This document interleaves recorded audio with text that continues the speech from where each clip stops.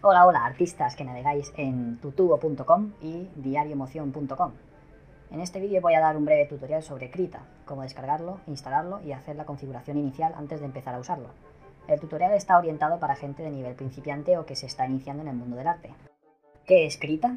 O Kritos, como yo lo llamo. Es un programa de pintura digital, dibujo vectorial, edición de imagen, animación y más cosas.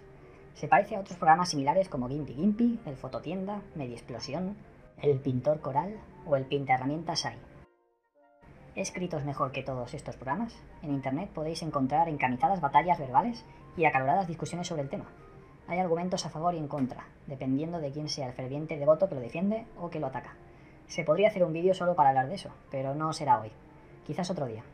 De momento, para mí lo más importante de Kritos es que es gratis. Sí, sí, gratis free, gratuito, libre, así que no hace falta pagar para usarlo ni tampoco hace falta piratearlo. ¿Qué hay que hacer para empezar a usarlo? Pues lo primero es ir a su página de internet.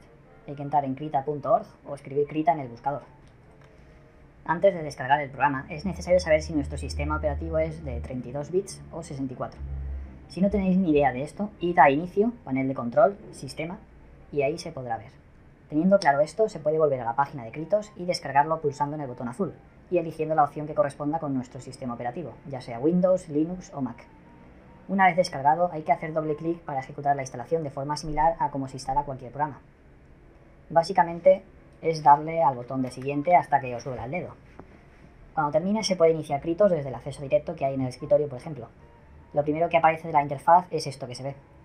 Por defecto el idioma es el inglés. Para cambiarlo hay que ir a Settings, Switch Application Language, seleccionar el idioma, aceptar, cerrar el programa y volverlo a abrir. Entonces ya debería de aparecer con el idioma elegido. El programa no permite manipular la interfaz si no hay un nuevo documento creado. Así que esto es lo primero que hago, pulsando en Archivo, Nuevo, dejando las opciones por defecto. Pulsando en el botón que hay arriba a la derecha, se despliega una lista con los posibles aspectos a elegir para la interfaz. Inicialmente la opción seleccionada es Default, pero yo ya he, ya he hecho cambios y lo he guardado con mi nombre. Los paneles laterales pueden variar de tamaño si se hace clic en el borde y se arrastra con el ratón. También es posible sacar los paneles del sitio y dejarlos flotando por ahí si se hace clic en la parte superior del panel. Para volver a encajarlos donde estaban hay que volver a arrastrarlos de la misma manera y aparecerá una zona de color azul que marca de qué forma va a encajarse, si es al lado de otro panel, encima o debajo. En la parte superior derecha de cada panel hay dos iconos. El de la izquierda es para sacar el panel del sitio automáticamente y el icono de la derecha es para eliminar el panel. Para crear un panel nuevo o volver a poner uno que se haya eliminado, hay que ir a Preferencias, Paneles y seleccionar el que queramos. En futuros vídeos explicaré las funciones de cada panel. Los iconos del panel de pinceles también se pueden alterar de tamaño usando la rueda del ratón mientras se mantiene pulsada la tecla Control. En el panel de las herramientas se puede pinchar en el triángulo que hay abajo para ver aquellas herramientas que han quedado ocultas si el espacio está reducido. También se puede usar la rueda del ratón sin tener que pinchar en el triángulo. En una misma parte se pueden acoplar varios paneles al mismo tiempo y se puede cambiar la vista de uno a otro haciendo clic en las pestañas de la parte superior. Ahora vamos a configurar Kritos de la forma más eficiente antes de comenzar a usarlo. Hay que pinchar en Preferencias, Configurar Krita. La primera ventana que aparece es para configurar la forma y color del cursor del ratón. Yo lo tengo configurado de esta manera que se ve para que según el pincel que elija, la forma del cursor varíe acorde a ese pincel.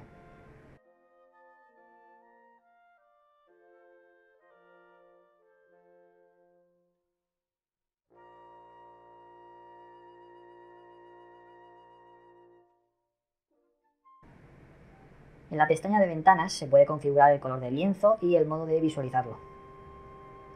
Si abres varios archivos de Krita.kra, se puede elegir entre verlos en distintas ventanas o en pestañas.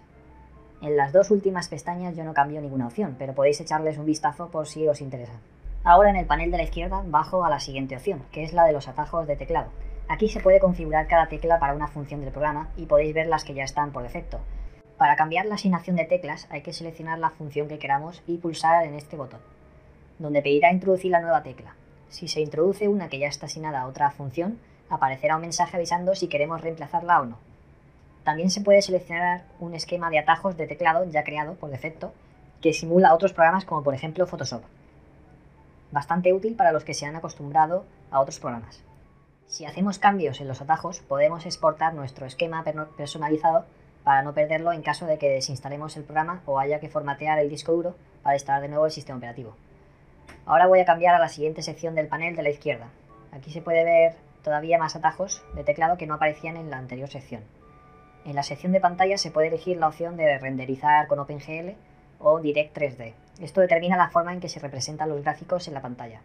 Hay gente que recomienda OpenGL y gente que recomienda Direct 3D. Yo he probado los dos y no veo demasiada diferencia. Si ves que el programa te funciona muy lento o que se cierra automáticamente, prueba a cambiar esta opción.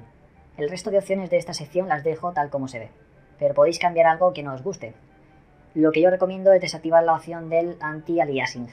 Esto es el suavizado de bordes, pero al estar activado puede provocar que el ordenador funcione más lentamente y el impacto visual no se nota mucho si se desactiva. En esta sección se puede elegir el espacio de color. Normalmente se usa RGB o CMYK. RGB viene de las siglas Red, Green, Blue, que significa rojo, verde, azul, y es el aspecto de color que usan los monitores y pantallas digitales. Mediante la suma de esos tres colores obtienen todos los demás, que son millones de colores. Si el dibujo que vamos a hacer es para mostrar en pantallas digitales, este será el espacio de color que habrá que elegir.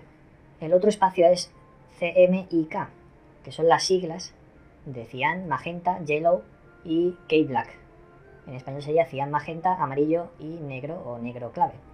Este es el espacio de color que usan las impresoras. Por eso los cartuchos de tinta suelen tener estos colores.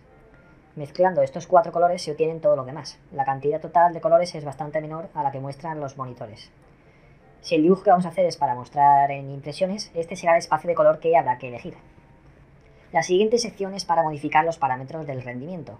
Se puede dejar tal como está por defecto, pero yo lo he aumentado porque tengo un buen ordenador y es bastante nuevo.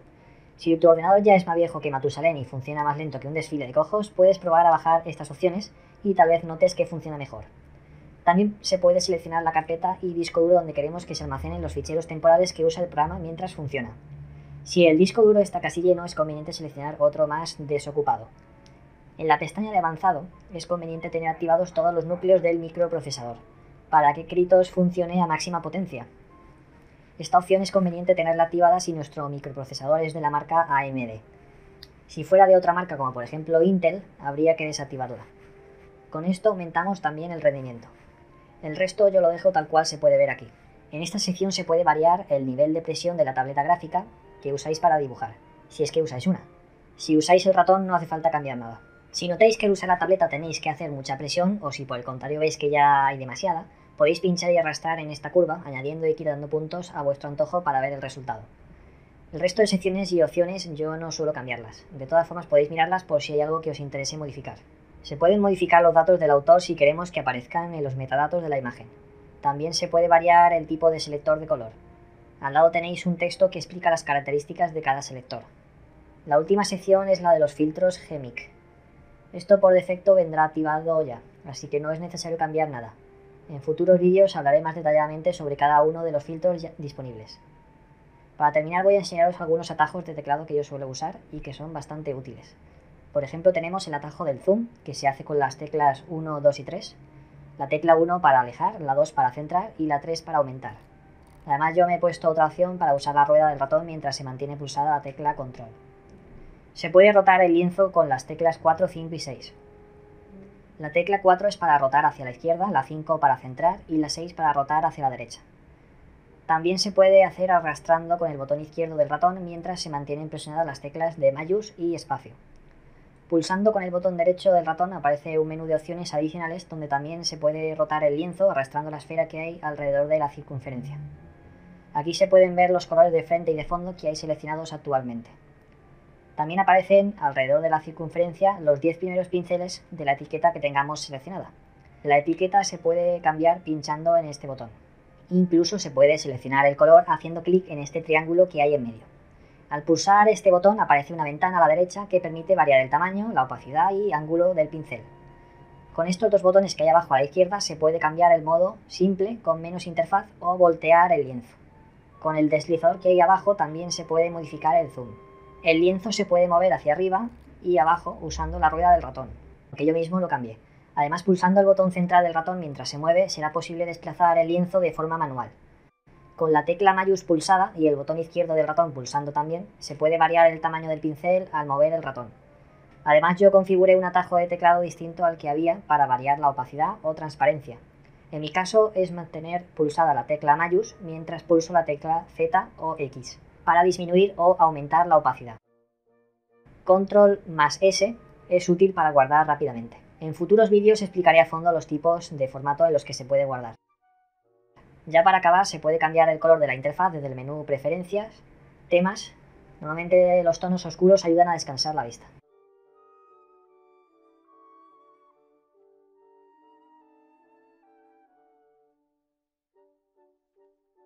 El vídeo termina aquí. Me gustaría conocer vuestra opinión, así que escribidme comentarios diciendo lo que os ha gustado, lo que se podría mejorar, si tenéis alguna duda o pregunta, o si por ejemplo tenéis ideas para vídeos futuros. Responderé a todos los comentarios lo antes posible. Suscríbete a mi canal y pulsa en la campana para activar las notificaciones y así recibir avisos cuando estén preparados los siguientes vídeos. Además sería perfecto si pulsas el botón de me gusta para apoyar el vídeo y que sea más fácil que llegue a otros artistas interesados. Pues nada más artistas, gracias por vuestro tiempo, no os rindáis jamás y seguid adelante.